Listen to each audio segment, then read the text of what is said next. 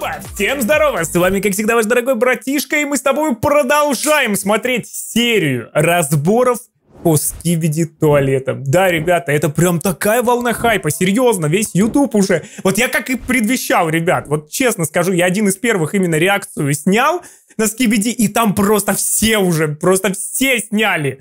В общем, они победили, сюжет скибиди туалет. Но я так понимаю, это уже, ребят, последней серии, вот которую мы уже помним, мы знаем, что там происходит, там уже пошло заражение, там реально жестко, там реально жестко. На самом деле, интересен сюжет. Поначалу реально ты думаешь, там трэш какой-то. Нет, ребята, это офигенно, это правда офигенно. Интересно, чем все, все это закончится. Погнали смотреть, бери вкусненькое, оригинал в описании. Вам очень понравилось. У автора за это время вышли новые ролики, которые очень интересные.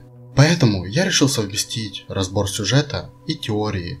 Буду Отлично. по ходу видео Отлично, предполагать и анализировать происходящее. Сегодня будем разбирать с 27 по 31 серию.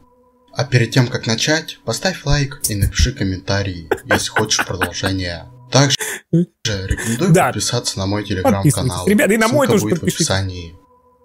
Как мы помним, Хорош. закончилось все в прошлый раз на появлении радиоменов и радиомена Титана. Кто не помнит или не видел, советую посмотреть мой прошлый ролик с разбором сюжета. Начинается 27 серия с того, как два маленьких камерамена заезжает в какое-то полузаброшенное здание. Скорее всего, это камерамены-разведчики, и маленькие они потому, что надо быть скрытным и пробираться в узкие проходы, такие как вентиляция. Они видят снизу комнату с множеством скибидистов. Те что-то обсуждают между собой, и тут к ним врываются агенты двух я не знаю, чем они там занимаются, реально. Ты просто посмотри, какая толпа. Видов. Да, они врываются и спокойно просто... И вот знаешь, я вот на этом моменте вообще думал, что все, скибиди туалет вообще не покажут себя. Нет, они вообще ничтожество, их просто смываешь. Чиков ловят, все. но нашего вовремя спасают. Как всегда, между прочим. Да, ну практика. Расскажу мою теорию о том, что мы сейчас увидели. Видимо, радиомены очень сильно повлияли на исход битв со скибидистами и те стали проигрывать. Да так, что по сути им остается только прятаться в подвалах и нежилых зданиях. И кстати, как по мне, очень скучно просто так сидеть и общаться. Намного лучше было бы, если бы они изобрели устройство, которое позволяет им играть в игры. Например, как телефон у людей. Недавно я заметил на нем очень интересную игру. Так, тут, наверное, реклама будет. И уже вовсю играю. Игра называется Grand ну, Mobile. Это многопользовательская да. онлайн-игра, где ты можешь... Да, я не представляю, если бы скибидисты в это играли, конечно. Это, это просто капец. Интересно, вообще скибидисты токсичные, да? Видите, больше всего просмотров, типа, больше всего, кто пропускал рекламу, видишь это, да? Нашему разбору. Очевидно, так. что сейчас агенты пытаются добить оставшихся беглецов. И следующая серия только подтверждает мои Тут догадки. Тут такое чувство, что уже какой-то завод по созданию их. Серьезно, вот чисто задумайся, если в начале, ну, мы понимаем, это логично, обычных людей а, превращали в скибидистов, да, они там кушали на туалетах и бац, они превращались. И это, в принципе, ну, более-менее логично, скажем так. Но тут откуда такие большие туалеты? Как они вообще, кто, кто их создает? Наш камерамен прогуливается. И такие головы Видимо, тоже. осматривает помещение, где еще могли бы засесть скибидисты. И тут встречается множество больших особей. По всей видимости, их предводитель темный скибидист со шляпой. Они что-то обсуждают, видимо план контратаки на агентов. И тут они замечают нашего камерамена, но его спасает ну, радиомен Титан, который с легкостью справляется с большим количеством скибидистов лишь при помощи лазера и одного шлепка. Хорош. Это еще один сильный удар по скибидистам. Даже сложно представить, как они могут выбраться из этого положения и начать уже выигрывать. Им, очевидно, нужна какая-то очередная разработка, и даже не одна, чтобы противостоять агентам. И в следующих сериях нам начинают их показывать.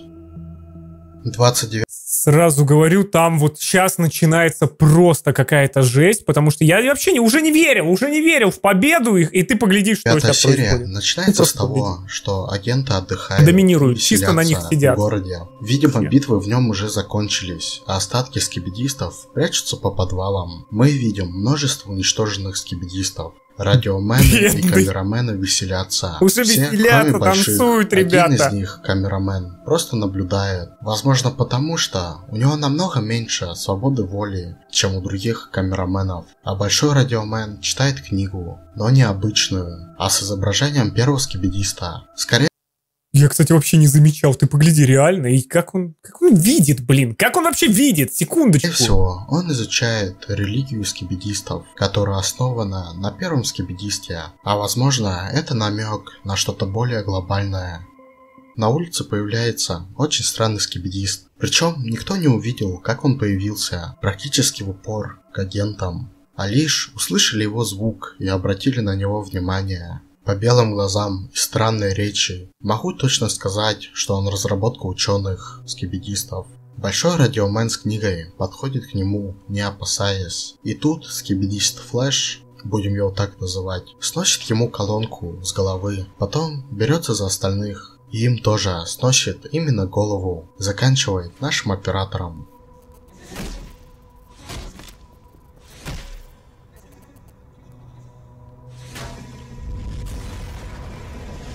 Ну, это, если честно, капец.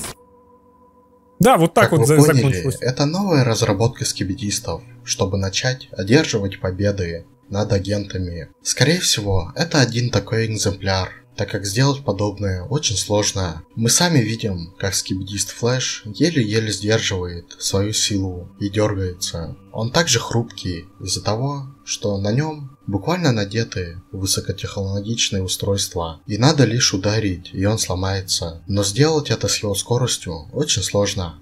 Также, почему он ломает именно головы? Скорее всего потому, что камерамены могут передавать информацию, которую видят остальные. Это также стало понятно по прошлым двум сериям, когда сначала появлялись камерамены-разведчики, а потом и остальные агенты. А что насчет радиоменов? Почему он им сносит голову? Дело в том, что скибидисты не любят музыку радиоменов.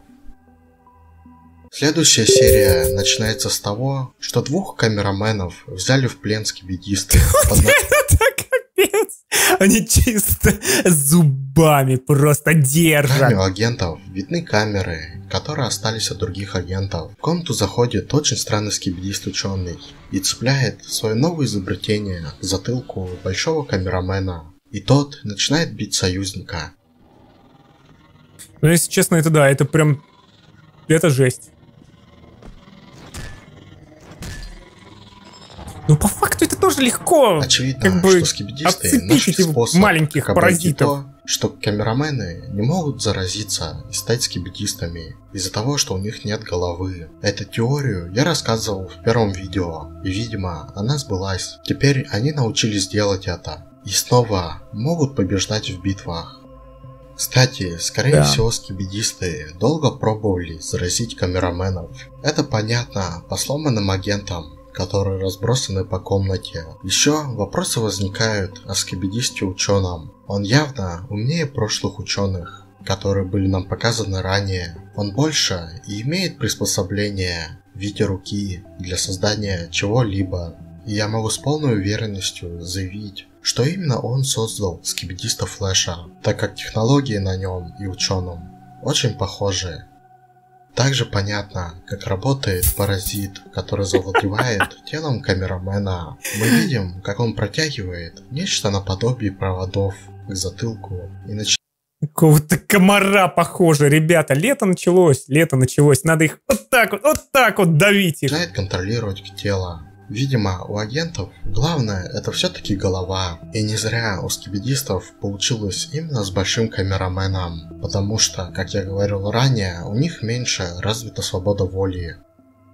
В Не, он следующей хорошо замечает серии мы детали, уже видим вообще. все последствия, связанные с этой вот эти вот ля бархатные тяги. Вообще не говорит, только одел, он даже пройтись в них не смог. Разработки скибдистов. На агентов начинают да. нападать не только старые разработки в виде пауков, но и зараженные агенты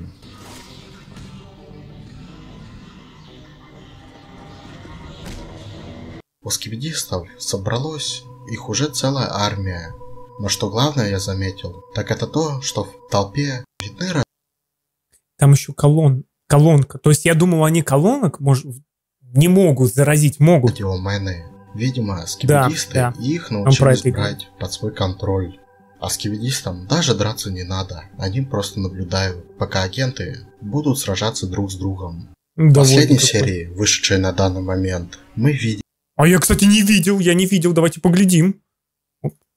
Видим, что агенты вовсю сражаются с кибидистами и зараженными агентами. Появляется новый, странный скибидист с двумя лазерами, но не как у Джимена из глаз, а из специальных установок, Тут на помощь агентам пролетает радиомен Титан, но во время сражения на Титана незаметно для него падают два скибидиста-паразита. Офигеть! Погоди, реально? Они еще видел, они большие, эти паразиты. Вот одного он убрал, а второй все-таки, зараза, присосался. Вот реально, как летом комары, а? Слушай, это просто жесть. Это просто жесть. Ты понимаешь? Это... Это просто какая-то жесть. Я не думал, что до такого дойдет. Ну, то есть, как бы я думал, маленьких, ну, могут заразить, но Титана... Ё-моё. Ёшкин кошкин. Офигеть. Как по мне, все это изначально был план скибидиста ученого для выманивания Титана.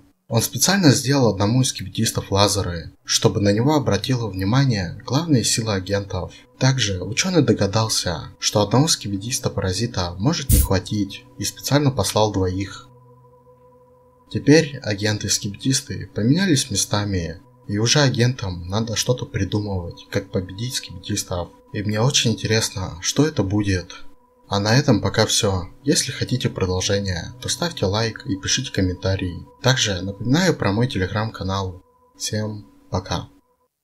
Ну что же, друзья, ссылочка на оригинал будет в описании. Ставьте реально лайкосики. Слушай, ну он хорошо прям замечает вот деталь, вот серьезно. И честно скажу, я даже не... Я реально вот поначалу вообще не думал, что такое будет разворачиваться, но погляди, просто гляди. То туалеты реально терпели, терпели, и бац, сейчас уже капец. Ну а за кого ты? За радиоменов, камераменов или skibidi туалетов? Напиши в комментариях, напиши. Bye-bye, дорогой братишка.